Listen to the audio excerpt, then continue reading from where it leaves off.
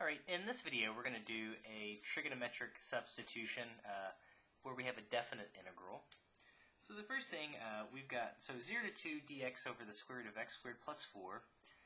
Here we'll use the substitution x equals 2 tangent of theta. So our dx will just be 2 times, so the derivative of tangent theta is just secant squared theta d theta. So in the numerator, we'll have our 2 secant squared theta. I'm going to pull the d theta off to the side.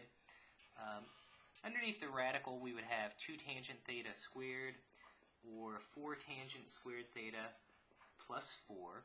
But our limits of integration here change. So to get our new limits of integration, the upper limit was when x equaled 2. So if we plug in x equals 2 into our substitution, well, we'll have 2 equals 2 tangent theta. If we divide both sides by 2, we'll get tangent theta equals 1. And tangent of pi over 4 is what equals 1. So our upper limit of integration will turn into pi over 4. Our lower limit of integration was when x equals 0. So there we'll have 0 equals 2 tangent theta. We can divide by 2.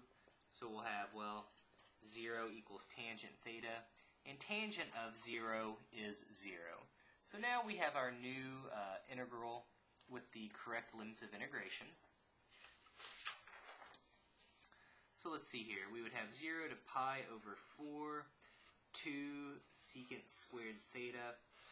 Uh, underneath the radical, we would have the square root of 4 times tangent squared theta plus 1.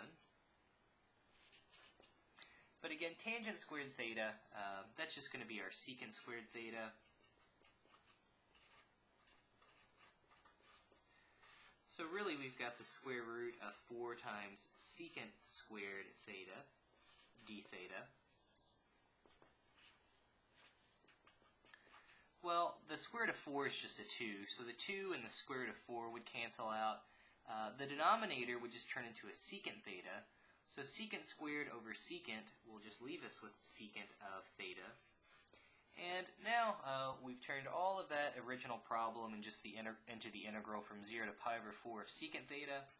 The antiderivative of secant is the natural logarithm of secant theta plus tangent theta. Oops, uh, I almost wrote a plus c because we've done so many definite integrals. Um, so this one will be from 0 to pi over 4. So now it's just a matter of uh, evaluating it. So we'll have the natural logarithm of secant of pi over 4 plus tangent of pi over 4 minus the natural logarithm of secant of 0 plus tangent of 0.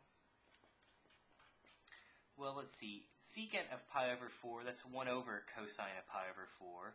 Cosine of pi over 4 is root 2 over 2. So 1 over that will give us, well, 2 over root 2.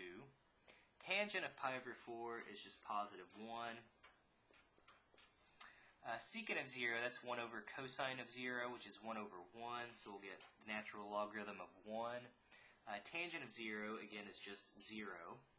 So here we have the natural logarithm of 1, and recall that ln of 1 does equal 0. So we can basically just forget about this whole last term. That's all 0 so to me, uh, our solution to this definite integral would be the natural logarithm of 2 over root 2 plus 1.